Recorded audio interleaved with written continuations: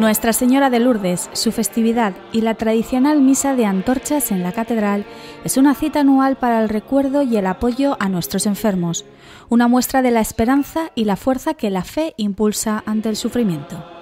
Enfermos y discapacitados con sus familiares participaron en la Eucaristía organizada por la Hospitalidad Valenciana de Nuestra Señora de Lourdes en colaboración con la Comisión Diocesana de Pastoral de la Salud. El, el vindre així a la, a la, a la sexta celebració, pues, escolta, és un altre món, eh, igual que anar a Lourdes igual.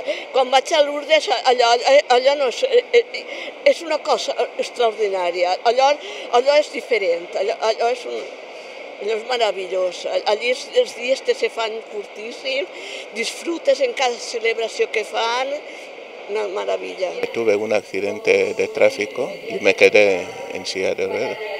Voy a Lourdes todos los años, casi, desde 90 y 2009. Y como me gusta y tengo que venir. Da fuerzas para seguir con, el, con este camino bueno, que me ha tocado recorrer.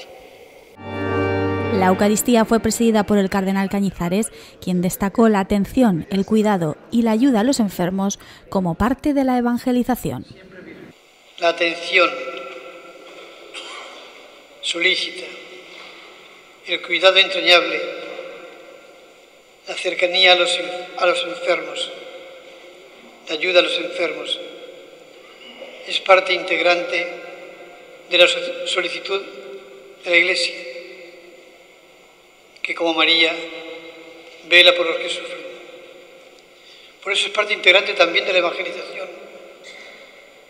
Y uno de los signos más privilegiados de que ha llegado ya la salvación.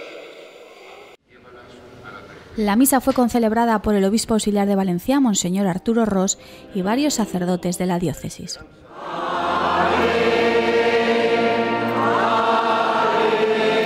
Durante la celebración, los enfermos participaron en la procesión de antorchas con la imagen de la Virgen, recordando las procesiones del santuario francés, donde cada año se reúnen cientos de valencianos en las peregrinaciones organizadas por la hospitalidad.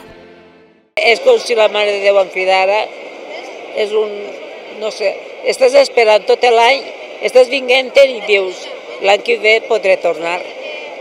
És, un, no sé, una il·lusió interior que no saps explicar-la.